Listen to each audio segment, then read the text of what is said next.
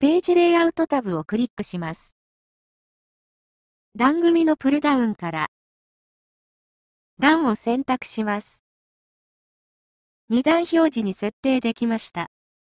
詳細な設定を行いたい場合は、段組のプルダウンから、段組の詳細設定を選択します。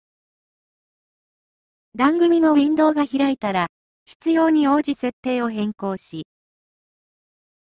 OK をクリックします。